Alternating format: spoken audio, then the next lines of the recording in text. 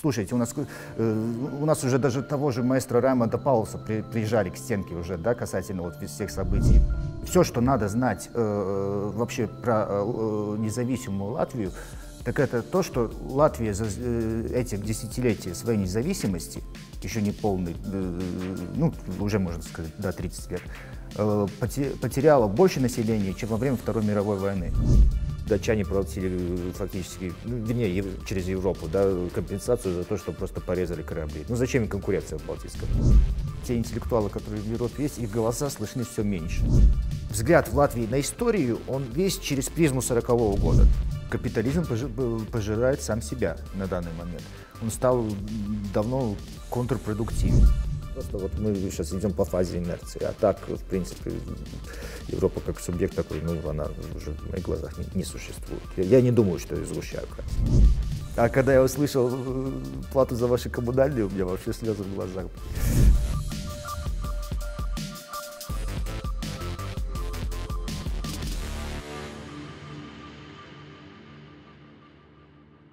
Роман, расскажите свою историю. Я довольно-таки долго работаю в Латвии, работал в Латвии в медиасфере, разными делами, в общем, занимался. А, и в том числе, кстати, я довольно-таки активно действовал и не только в журналистике, а всякие личные инициативы у меня были просто. Я много интересуюсь, допустим, такой, таким делом, как экономика. Сделали там небольшой такой медиаресурс, э, касающийся тематики развития экономического. Также были там по поводу образования, когда вот COVID начался, там э, тоже пытались достучаться до Министерства образования, там, потому что я видел просто, ну, что, что творится с образованием, и э, поскольку э, сам сидел дома э, со, со старшим сыном э, и слышал, как, ну, на каком уровне происходят вообще уроки. Э, тогда, ну, тоже пытались достучаться до Министерства образования, там, ну, что, ребята, давайте что-то делать. Мы даже сделали, создали такие, ну, как проект с примерами вообще, ну, как, как мы видим это. Тоже без толку не смогли. Сейчас, ну, что я могу сказать? Ну, сейчас дошло до того, то, что просто я чувствую, что маразм крепчает. Как мне многие говорят, то, что я э, не умею адаптироваться, ну, ну, знаете как, ну, если ты должен адаптироваться Э, в палате э, дурдома, что меня, по мне уже сильно ударило, так, во-первых, это вступление Латвии в еврозону, да, ну, что это, ну, абсолютное экономическое самоубийство было, ну, с, с любой-то логики вообще, ну, это уже, ну, пытались там всякие инициативы, там, продвигать референдум касаемо этого вопроса, потому что основной, основная часть населения была против. А, просто там, ну, в конце все равно через колено, так сказать. Ну, за это наш бывший премьер Домбровский получил э, еврокомиссара потом по заслугам, да, ну, понятно. Потом, ну, конечно, начиная с событий э, на Донбассе, ну, этот маразм все крепчал, крепчал. Я все время пытался как-то, вы знаете, даже... Но, но а в чем вот это выражалось? Во-первых, тотальное отсутствие дискуссий тотальная, вообще по, по любым, любым вопросам, в принципе. Да? Ну, вот, э, особенно таким важным, как там, я не знаю, там, э, та же международная политика, та, та, та же поли, какая-то элементарная э, политика по тому, как раз, по развитию, да? ну, вот, и, ее просто фактически не существует. Она абсолютно деградировала. Э, та же культурная среда. Я уже в театр не, не, хожу, не был три года, потому что, ну, это вот тоже как-то чувствуется, что, ну, вот, слушайте, у нас, э, у нас уже даже того же маэстро Раймонда Паулса при, приезжали к стенке уже, да, касательно вот всех событий 24 февраля. Э, и потом, когда у нас памятник Победы, да, ну, снесли, я знаю то, что многие упрекали Пауса за то, что он там не заступился и так, но вы не представляете, какой прессинг на него. Он все-таки человек не, не молодой, молодой, да, ну, э, там ну, его колоссально давили. И все, что он в конце сказал, причем сказал, по-моему, достаточно корректно, э, он выступил просто, ну, э, кому-то ответил из журналистов в конце, ладно, хотите, сносите, только, не забу э, только сделайте хотя бы тогда это тихо, и не забудьте, сколько народу погибло под этим знаменем. Ну, ну по-моему, ну, в тех условиях, которые, ну, сейчас вот, ну, в Латвии, это, по-моему, даже, ну, он, ну, более корректно сказать не мог. Послушайте, ну, Латвия, на, на самом деле, такая уникальная очень страна, ну, как вот нам тут кажется. А это не страна. Ну, ну, это не, она не есть территория, но, ну, но это не субъект. Европа не субъект, куда там Латвия? Нет, мы все понимаем, э, скажем, наполнение да, вот этих контуров на карте. Граждане, не граждане. Никак не могу взять в толк, это как? В Латвии русскоязычных людей же там сколько процентов? Ну, сейчас в районе 35 примерно, но Рига фактически наполовину, ну так. Э, То есть столица пополам, говорит кто-то? Столица, в принципе, да, такой город, как Даугавпилс, так там вообще второй по величине город Латвии, ну, э, так там вообще большинство русского населения. Ну, а надо понимать, что Рига и Даугавпилс, а, в общем-то, остальной Латвии там совсем да, чуть-чуть. Да, ну, да, ну, да, да. Это, это несколько десятков тысяч людей, самые большие города, да. И как вот это вот возможно, когда, ну, ну пусть половина да, населения считает своим языком русский, дискриминационные законы в отношении их, этих людей. Как это в принципе возможно? Я не очень понимаю. За это время выработалось достаточно много рафинированных э, таких механизмов, каким образ, образом просто тебя заткнуть, если ты хочешь вообще, ну, как-то, ну... Нет, ну, я понимаю, если бы их там было 5%, mm-hmm. там, ну, 10, не знаю, ну, то есть это было не не то, что не, не большинство, да, а даже, даже не половина, но их примерно половина, ну, если да, мы говорим о том, что их действительно очень много. То есть, ну, как их заткнуть? Ну, простите, это, это большое количество людей. Ну, были ведь протесты, были ведь протесты касательно э, там, русских школ. И так, ну, слушайте, достаточно, за последнее время все-таки достаточно мощно выработался такой репрессивный аппарат. Причем касательно репрессий, я не говорю обязательно то, что за вами придет, там, ну, допустим, у нас есть аналог, там, называется Валсдрощи и Бездиенес, это, ну, а, аналог, там, ну, я не знаю, КГБ, допустим, да, примерно так, если сравнивать. Это не означает, что, ну, к вам сразу с, наручни, с наручниками придут. Но по работе начнутся проблемы. Это, это уже интегрировано не только в какую-то ну, такую э, схему там, учреждений госбезопасности, да, а э, этот нарратив, он уже живет, допустим, в корпоративной среде самой. Да? Вот, вот, ну, то, то есть э, это промывка э, десятилетиями созданный конструкт с помощью разных фондов, вот все вот эти нарративы, которые репродуцировали наши медиа, они уже действуют настолько, ну, пустили такие глубокие корни, то, что э, оно уже ну, поглотило как бы, ну, достаточно большую часть э, общества и, кстати, того же, даже, даже, я бы сказал, часть русского населения. Я, поскольку в медиа работал, я знаю, как, каким образом они финансировались, да? каким образом журналисты могли ехать э, учи, учиться там в США, в Брюссель или еще куда-то. Да? Ну, ну, просто, ну, э, э, эта система создавалась просто уже, сейчас уже третье десятилетие идет, ну, и она сейчас дает, к сожалению, свои плоды, вот мы их сейчас вот как раз вот именно и видим. Часто говорят об Украине как о проекте э, под таким условным названием «Антироссия». То есть, я так понимаю, из Латвии, да и вообще из Прибалтики в целом на протяжении достаточно долгого времени э, делали примерно целенаправленно, делали примерно то же самое. На Украине просто этот процесс провернули быстрее еще, более агрессивнее и быстрее. Им удалось как-то это довести, так сказать, до абсолютного совершенства в течение восьми лет. Да? Ну, у нас этот процесс как-то более плавно шел. Как это в жизни происходит? Вот, допустим, вы гражданин, а я нет.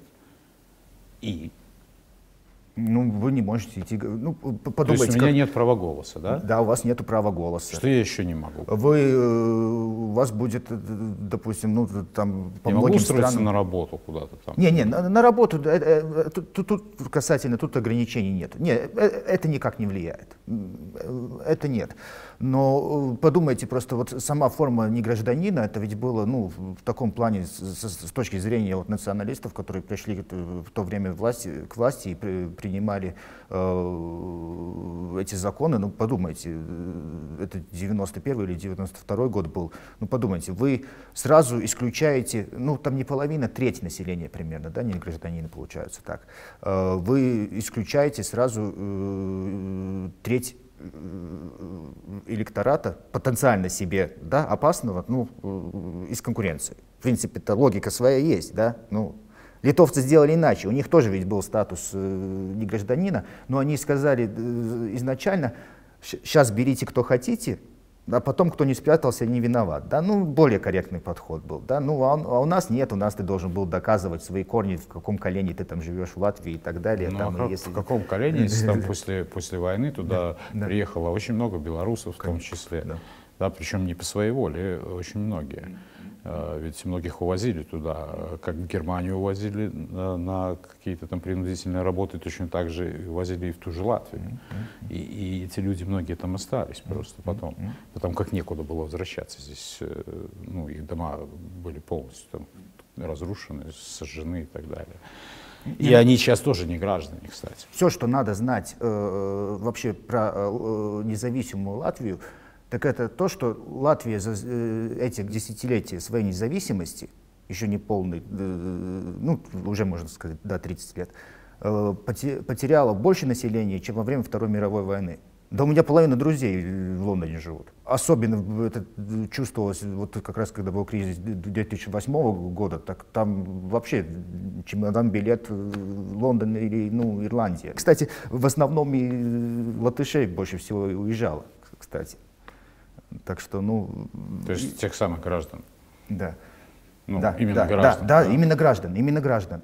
Э, И, сейчас касательно, как вот, если возвращаться к теме там, ну, маразма, который идет по возвраща- возрастающей, да, вот, э, у меня последняя точка над «и» вот в моем решении уехать. Я только что прилетел э, из Тель-Авива. Я выхожу из автобуса, приехав из аэропорта, Ратушная площадь, и ви- висят громадные баннеры с надписью «Рашист равно коммунист равно фашист».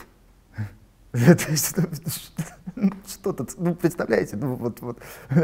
И после этого министр выступает, то, что, ну, э, еще с речью, э, ребят, э, русские, либо ассимилируете здесь, интегрируетесь, либо валите. Ну, ну, не, вот именно таким текстом. Ну, ну что тут сказать? Ну, вот, вот что? Во-первых, и так население у- убывает. И во-вторых, у меня по поводу, кстати, было вот с одним из наших э, дискуссия. Э, Я по-русски говорю с акцентом, на латышском я говорю абсолютно без акцента. Ну, то есть я на телевидении тексты зачитываю и так, да. У меня тоже просто задавал вопрос, э, там у нас постоянно не умолкают вот эти разговоры, как интегрировать русских в, там, в латышскую среду, да. Мы сидели с ней в Европарламенте обычно, когда приезжаешь, там традиция, там вот днем, допустим, интервью, а вечером тогда идешь там, ну, выпить вина в ресторанчик, так посидеть. И она говорит, я вас рассказываю как о примере, о примере как русский может интегрироваться вот в латышскую среду, да, вот про меня касательно. Там. Вот, вот как нам добиться вот такого? Ребята, сделайте страну такую, чтобы, ну, чтобы захотели там жить и учить этот язык. А как иначе? Ну, силой, мил, не, не будешь никому. Ну, то есть э, так, э, тут сами начнут все латышский язык учить. И, кста- и, кстати, касательно того же языка, ну, это интеллектуальная среда в, в то- той же- медиасфере, хотя бы я, я, я когда слушаю язык, она, э, тот же язык сейчас колоссально деградирует. Ст- Столько, сколько сделал Советский Союз вообще для культуры латвийской, не сделал вообще никто. Потому что сейчас она мельчает. У нас при, Советском Союзе, в конце концов, была Рижская киностудия, в которой только в штате работали ты- тысяча сотрудников, больше. А почему вот вообще, на ваш взгляд, страх э, русских, вот тех же латышей, э, так, господи, они там немцев, наверное, должны больше тогда бояться? Ну, потому как э, то, как, например, э, прибалтийские народы э, окатоличивались огнем и мечом. Никто не ласкал их по А- голове. Огнем там. и мечом Да, там да, вырезались да, целые да, деревни. да, да, да. Вообще, где была создана идентичность латыша, вообще где? Это, были, это был Тартовский университет и Петербургский университет, где первые ребята из латышской глубинки получали образование. Там, они называли еще новые латыши это движение. Да? И там э, появилась вообще первая табличка с надписью в Питере э, на, на дверях э, в общежитии э, «Латыш». Да? Ну, вообще, где вот сам конструкт, поня- понятие вообще вот ла- латыша да, появилось. А в это же время, где в основном были, ну, Ригой тогда все-таки в основном владели, хоть это была часть Российской империи, но в основном там проживали, ну, землей владели и так, ну, немецкие дворяне, да.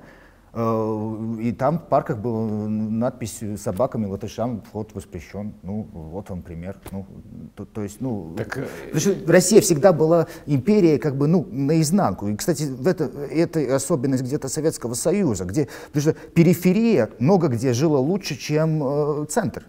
Ну, ну, Прибалтика точно жила да. лучше, чем центр. Грузия жила лучше, чем центр. Логике э, это не поддается. Во время Советского Союза получили массу очень мощных развитых промышленных предприятий. Да, институты, сколько патентов, там микро... да. институт микробиологии, органического синтеза, там, там может, ну там до бесконечности и, можно продолжать. И, и, пожалуйста, вам культура, да, там, как пример Рижская киностудия, да, да, само появление такого, э, ну, такой глыбы, как Раймонд Паус, э, фестиваль в Юрмале, ну, это, это общесоюзные были дела. Ничего же этого не осталось вообще. В принципе, нет.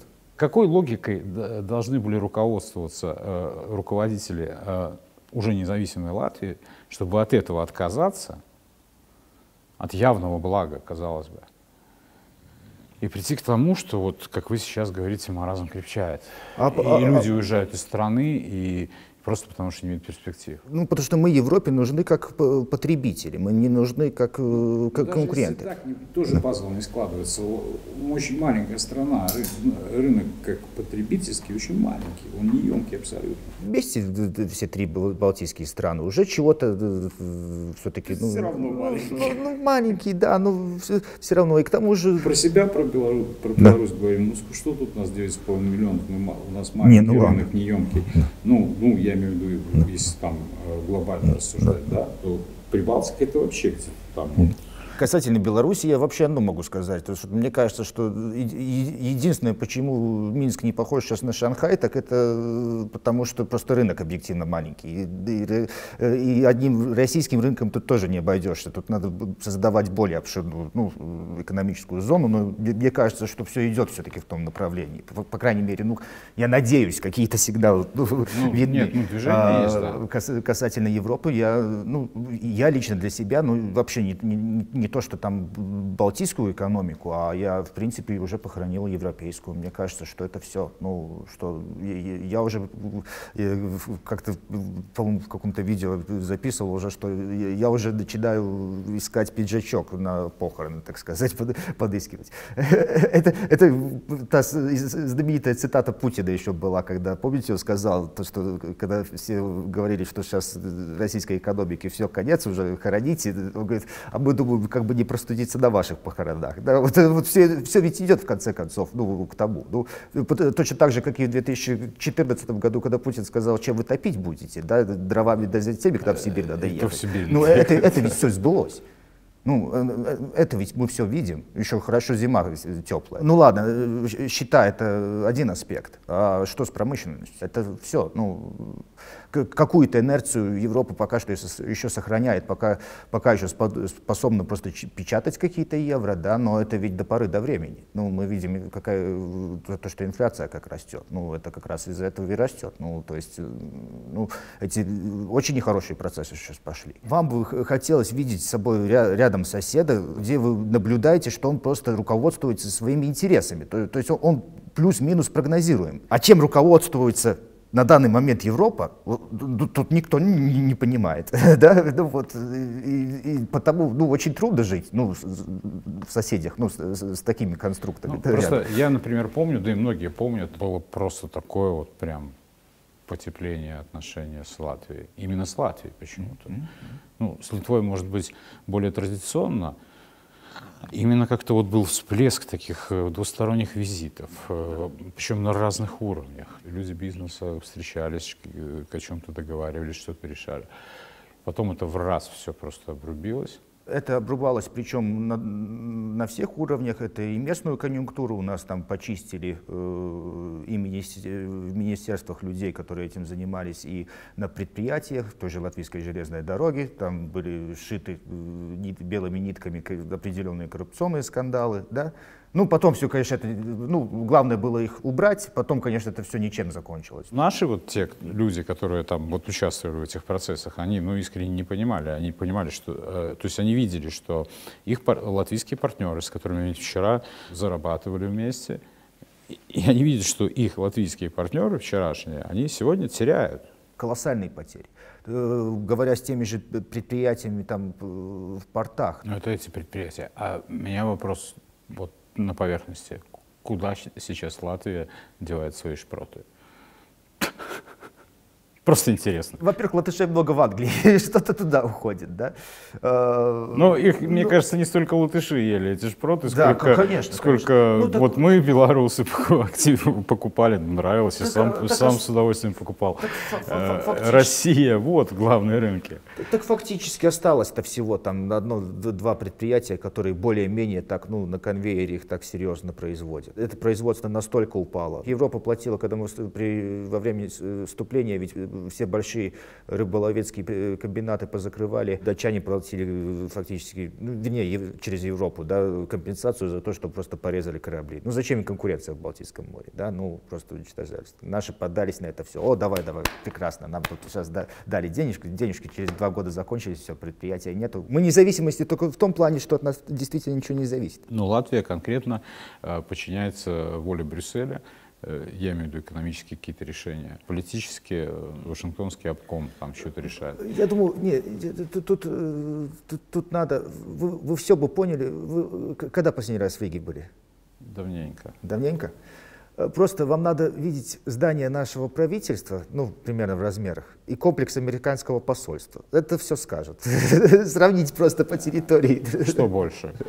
Угадайте. А, американское посольство. Да. Это громадный комплекс, вот как едешь из аэропорта, там стоит такое, ну, там несколько зданий такое, ну, в такой маленькой стране. Вы можете объяснить, почему строить вот, ну, комплекс из нескольких зданий? Ну, вот, в принципе, это вот такое вот, вот, вот как это гостиница, в которой мы сейчас находимся. Да? По размерам так. Ну, чем мне нравится Беларусь, я вообще считаю, что вот касательно европейского континента, так Беларусь впереди планеты всей. И почему вас так не любят? Потому что вы концептуально способны, вы еще ее, по-моему, не создали, но вы концептуально создаете сейчас альтернативу той системы, которая есть там.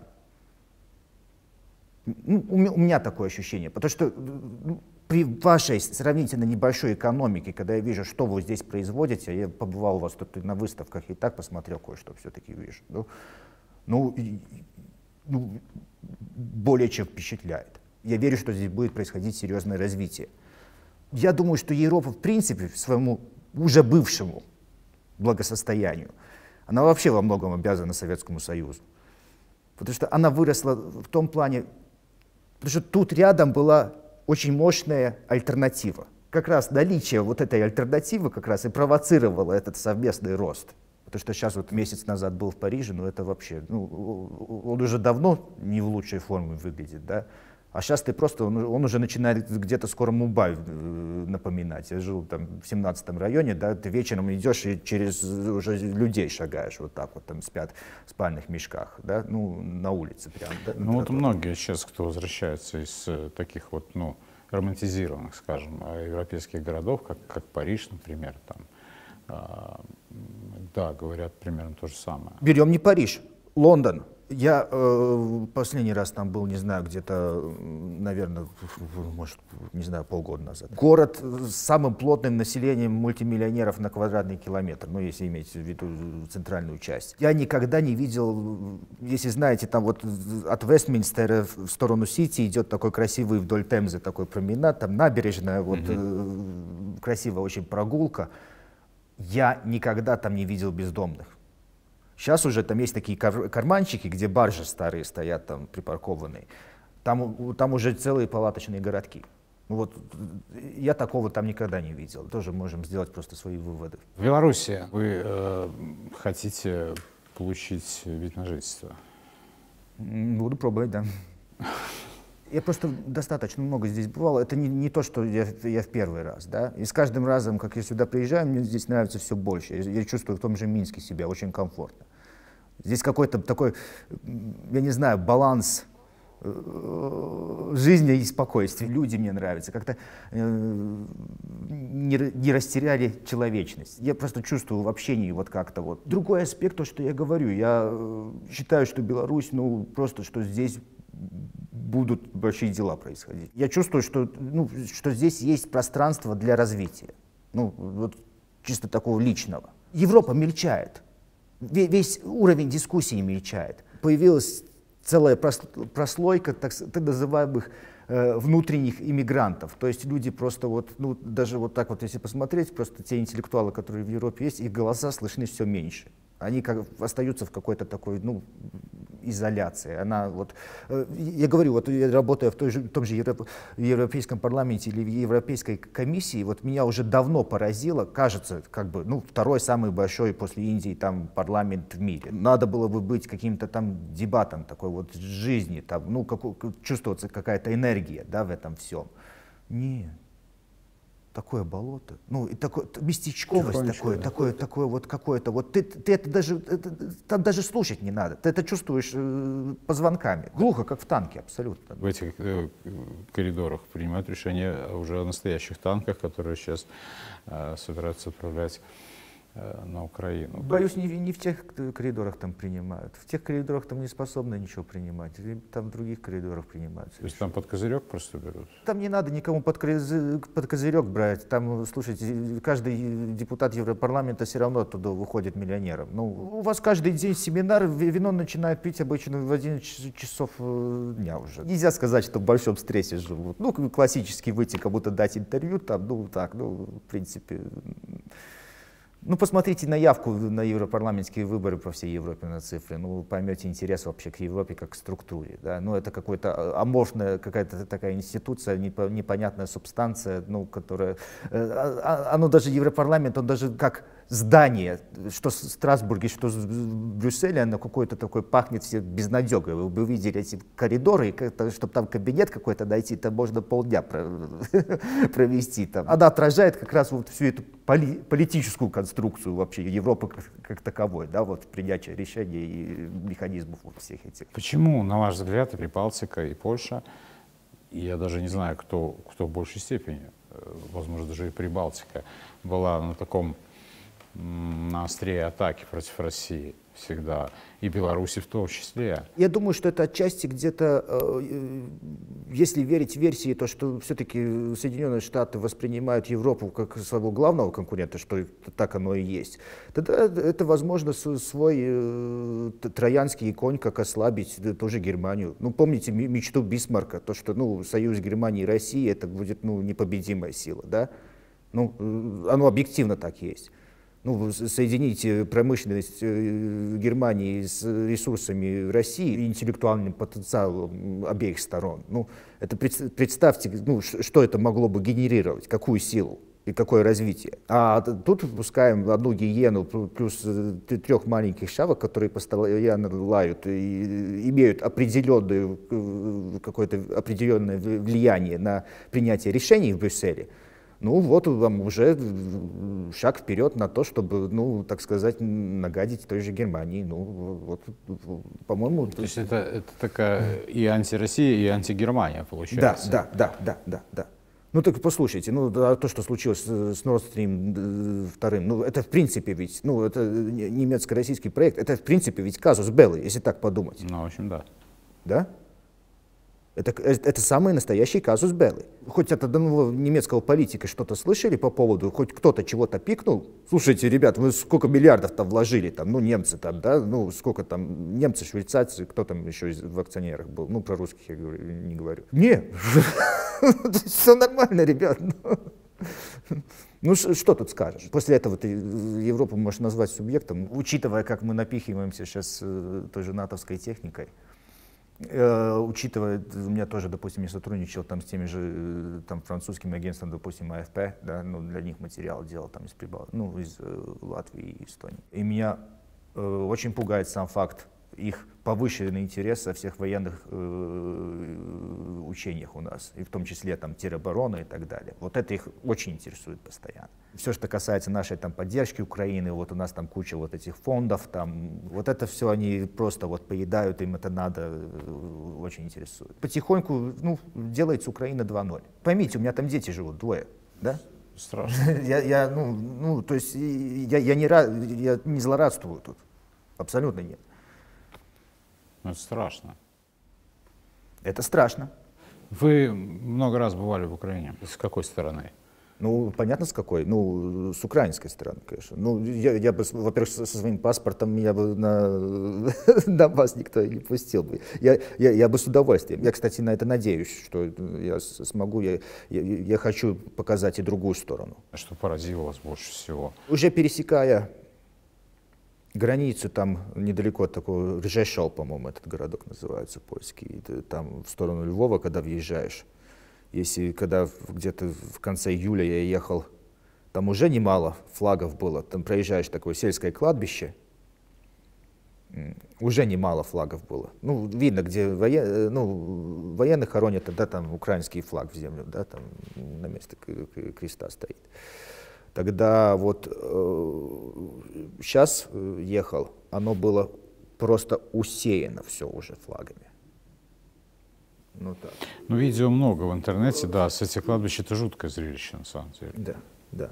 Вот, вот поле усеяно. Харьков, конечно, печально выглядит очень. Большой город ведь, там ведь больше миллиона проживало. Меня не покидало ощущение все-таки, что в Харькове ждут. Конечно, так вот напрямую спросишь, любой скажет, нет, там, ну, отругает Путина, там, и, ну, проклятая война, там, проклятая Россия и так далее. Но вот где-то ты чувствуешь в воздухе, да, что все-таки вот, ну почему-то меня не покидало это ощущение. Вообще смотришь, до чего страну, эту богатейшую страну довели, да, за эти годы. Ведь это не война довела. Интенсивно поработали ребята. Хотя бы зайти в магазин и посмотреть, что люди себе в корзины кладут, да, ну, э, станет все ясно. Ну. Днепропетровск, ну, один из самых э, богатых городов, да, ну, таких украинских. Ну, там выходишь на... Э, война, э, самая настоящая война, так это вот то, что творится там на привокзальной площади. Это, это вообще кошмар. Ну, это куча наркоманов, алкоголиков. Ну, это, ну, это апокалипсис. Вот, вот я, я такого ну, нигде не видел. Это ужас. Ну вот просто, вот, ну ты чувствуешь, вот, ну, э, ну до чего ну, общество доведено. Вот, ну, это действительно страшно. На Донбасс поедете, если получится. Да, да. Я, я, хочу, я хочу показать просто, ну вот, э, попытаться там, ну, Латышской Республике показать другую сторону вопроса. Хотя я не уверен, что поможет, потому что, понимаете, тут зашло уже во многом до того, то, что ну, там никакие аргументы уже не работают. Ну, то есть э, говори, что хочешь. То есть, ну, э, это уже во многом вопрос религи религиозного свойства. А вот все вот эти годы, э, с момента, ну, хотя бы 2014 начиная, вы, как житель Латвии, вы знали, что происходит в Донбассе? Что там вообще происходит? Вот как вам рассказывали? Россия напала на Украину. Это в феврале?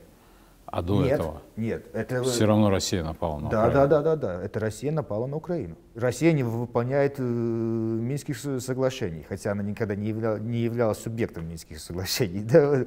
Ну, то есть это повестка, ты там говори, не говори, аргументируй, ну это не, это все в одни ворота. Ну, то есть ну, там ну, бескомпромиссно. И э, чтобы понять, кстати, вот пример, вот я говорю, э, говорил тоже изначально вообще вот, ну, про медиа-среду, допустим, да, или вот интеллектуальную нашу среду. Хороший пример, чтобы я еще объяснил, чего я ищу, допустим, тоже здесь. Э, это еще было, когда я учился э, в университете. Э, я учился на факультете социальных наук, но у нас там можно было выбирать и предметы ну, из других факультетов. Меня, поскольку интересует там история, я вот взял пару курсов там каких-то на историческом факультете. И у нас, знаете, как вообще взгляд в Латвии на историю, он весь через призму 40-го года, да, оккупацию. Долго можем спорить вообще о причинах, э, почему это и как произошло, но там э, касательно в латышской среде там даже можешь не поднимать эту дискуссию, тебя уроют сразу. За это, во-первых, дело криминальное получишь, ну, автоматом. Ну, за то, что если ты скажешь, что, допустим, э, это была не совсем оккупация, ну, это все, это на солнышко будешь смотреть. Э, я на этом историческом факультете преподаватель задал вопрос, а это, э, чтобы вы понимали, это уже студенты, там, третий или четвертый курс бакалавр, да? Э, я надеюсь, я никого не обижу, если я задам вопрос, кто такой Солженицын. Два человека из всей аудитории подняли руки так. писатель, ну, да, да, дрожащим голосом примерно. Да? То, то есть, ну, вот, вот это та, ну, интеллектуальная среда, да, до которой вот доросли. Понимаете, ну, о, о чем я, да? А, а, э, кстати, эти ребята потом исторического факультета, они очень востребованы потом в нашем Минфине.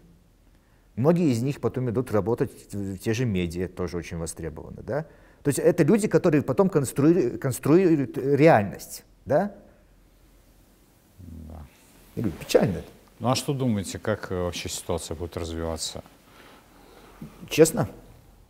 Я думаю, что будем не в таком далеком будущем жить в одном дружном государстве. Ну, если не в одном дружном государстве, то, по крайней мере, конструкт будет что-то типа такого, ну, стран Содружества и так. Я, я, я другого выхода отсюда, ну, из этого положения не вижу. К сожалению, ну, будет больно, будет неприятно, но мне кажется, что у вас вариантов других не останется. Ну, у вас Россия.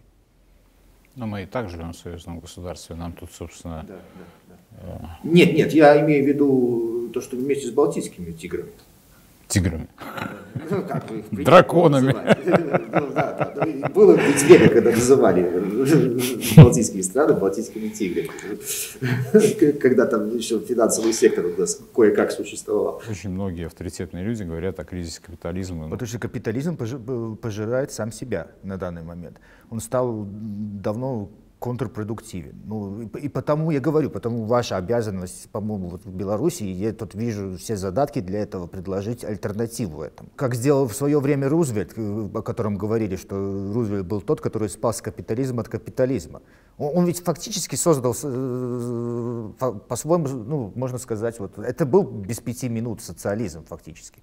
Ну, как ты назовешь, если у тебя 90% э, налог на высшие доходы, да? Ну, то есть, ну, по-своему, да? Начал громадные вложения в строительство дамб и так далее. Но э, я думаю, что нам как раз надо, прекрасная книга, вот «Кристалл роста», вот, я думаю, что ее стоит каждому прочитать и э, подумать о том, не стоит ли методы, может, конечно, не, не, то есть, может, не такими методами, но посмотреть, как говорится, хорошая фраза есть то, что э, у экономики единственная доступная лаборатория — это история, да? Ну, и тогда вернуться в эту лабораторию и посмотреть все-таки, каким образом делался прорыв с 30-х по 60-е годы в Советском Союзе, да? К тому же сейчас еще, учитывая, совмещая это с вычислительными мощностями нашего времени, да, когда это, тогда планировка экономики создавалась-то вся на бумажке в табличках, да? сейчас все-таки возможности другие. Я думаю, что здесь есть очень большие возможности для колоссальных прорывов. Пример-то, да, нужно какой-то демонстрировать позитивный. Увидят ли его? Вот даже взять ситуацию с э, ковидом. А тогда ведь сколько критики было в адрес. Ну да, да. Что... Вы, вы единственные были, кто более-менее адекватно реагировал на все да. это ну, реагировали. Тут тоже у нас э, много чего делалось и до сих пор делается. Представляю, какое это было давление на Лукашенко вообще. Ну, вот так вот, ну, попытаться, ну, противостоять, когда у тебя всюду, э, кругом мир сошел с ума и вопит, что все надо закрывать, и все вообще, жизнь становится, все по домам сидят, э, сидят, да. И это ведь больш... требует большой смелости сказать, нет, ребята, мы так не будем делать. Ну, то есть, ну, потому что этот, информ... ну, этот информационный фон ведь какой был? У тебя с утра до, до ночи показывают гробы. В Италии гробы, там, да, во Франции гробы, там, все, люди мрут, там, статистику да, там преподносят. Да. негде, это, кладбищ мест не хватает. Это, да, все это было, да. Это, это по-моему, знаете, есть библейская эта притча, когда чума идет мимо э, пророка э, в город, и пророк спрашивает ее, куда ты идешь, я иду забрать 300 жизней. Потом чума идет обратно, и пророк говорит, почему ты мне соврала, ты забрала тысячу. Она говорит, нет, я забрала 300, остальных убил страх. Да? Ну, ну вот, так, ну, тут, я думаю, что в случае ковида там вот как раз этот аспект очень ну, то есть я к чему? Вот вы говорите, э, мы можем продемонстрировать какой-то пример. Ну, то, что э, он нужен, это однозначно. Но вот мы демонстрировали, пожалуйста. Но в моменте этот пример точно никто не оценил. Наоборот, нас, э, ну, всю нашу страну и руководство в первую очередь э, со всех возможных там трибун пытались как можно только вот затюкать, то есть вот смотрите, какие они там темные, ничего не понимают. Вы знаете, нет, я, я скажу, что в Латвии, кстати, среди латышей достаточно много людей, которые тут очень позитивно смотрят на, на Беларусь и Россию. Так что, ну, э, к сожалению, их голоса мало слышны, но их много. Их действительно много. Людей, которые по понимают. Ждут? Ждут. Я думаю, что ждут. Так физически не может э, продолжаться. Вот, вот и все. Но мы не сгущаем краски, когда говорим, что вот там все так плохо, плохо, плохо. Просто, ну, знаете, как многие говорят, ну, вот там капитализм на Западе загнивает, загнивает. Сколько я себя помню, загнивает, загнивает, никак загнить не может до конца. Ну, вы знаете, ну, слушайте, ну, когда Советский Союз разваливался, ведь сами американцы думали, по-моему, тоже Бежинский признавался, то, что они рассчитывали еще, ну, в перспек... ну они системно над этим работали, но они, э, они сами обалдели, что это произошло так, так быстро три мужика поехали в лес и отменили Советский Союз, да, вдруг. Буквально в течение там полтора-двух лет это все произошло. То же самое э, вот касательно, ну, я не знаю, меня не покидает э, ощущение, что это просто сейчас вот особенно про Америку еще трудно сказать, а, потому что в Америке все-таки еще есть наличие дискуссии, там еще идет большая драка, вот само наличие дискуссии, она уже ну, создает ну, какую-то веру, то, то, что вот может что-то меняться. Ну, это, по-моему, Черчилль говорил про американцев, то, что американцы в конце всегда принимают правильные решения, но сперва они испробуют все возможные неправильные. Да? Так э, вот, вот касательно Америки, я бы там, хотя ну, у них колоссальнейшие, конечно, экономические проблемы, но вот, по-моему, касательно Европы, это, я думаю, что это, это уже случившийся факт. Просто сейчас она продолжает существовать благодаря какой-то, ну вот, ну просто у каждой системы есть своя инерция, ну у любого предмета есть своя инерция, да, ну вот просто вот мы сейчас идем по фазе инерции, а так, в принципе, Европа как субъект такой, ну она уже в моих глазах не, не существует. Я, я не думаю, что я сгущаю краски. Да я вот сейчас, когда я уехал, когда я написал там тоже этом телеграме, там перевели потом там русские паблики, там письмо, да, вот в одной стране, там, где объявил публично, что я уезжаю. Э, там на меня посыпалось, там, конечно, такое. Вообще, куда ты поехал? Э, Беларусь, это ведь такая там глушь, там, ну, там впечатление, то, что там вот, ну, это, тут э, на границе тебя встречают два чекиста, которые только что медведя завалили, да, и с бутылкой водки в руках его там раздирают, да, там вот. Ну, и это в Латвии так говорят? Не, ну, у многих, у многих такое. Ну, не, ну, у многих действительно вот такое вот. Э, и я, главное, я, я даже отвечаю, я говорю, ребят, слушайте, ну, слушайте, я вас на границе встречу. Вот приедете, кстати, я, я, вот когда ваш президент принял решение э, об открытии границы для поляков и э, о безвизовом режиме, да? о безвизовом режиме, это потрясающее решение просто просто чтобы люди приезжали, просто посмотрели здесь, как, ну, как люди живут. Потому что, я говорю, первое, когда я приехал в Беларусь, я проколесил до Гомеля, потом Брест, там, ну, так вот, чтобы видеть и другую, потому что я в основном сюда прилетал, ну, либо там приезжал там на, на автобусе, ну, кроме Минска так больше ничего не видел, да, я хотел увидеть там, ну, там полторы недели первые, пока был здесь, так, ну, покатался, просто чтобы видеть и другие города, и на селе тоже был, да, вот посмотреть просто. Да, люди тут жалуются, денег мало и так далее, ну, каждый второй дом строит. А когда я услышал э, плату за ваши коммунальные, у меня вообще слезы в глазах. И тоже у меня были вот проблемы со здоровьем, медицина. Вот в Бресте был в больнице. Отношения и то, насколько быстро все происходит и эффективно. Приезжайте. Э, приезжайте, да, и приглашайте друзей, знакомых. Я пусть приглашаю, просто, я приглашаю. Просто пусть приедут побудут на выходные, посмотрят, да. походят да. ножками своими, не в телевизоре посмотрят, как, как нам У меня покажут. вот после, после Парижа, где я в гостинице в, 17 в том же 17 районе ходил с, с зажженным фонариком, потому что электричество, чтобы экономить в коридорах, там-то окон нету в коридорах в гостинице, я с фонариком телефона ходил, то, чтобы найти свой э, номерок, да, ну, э, и после этого приезжаешь в предновогодний Минск, где все в огнях горит. Это да. Это, это большой контраст.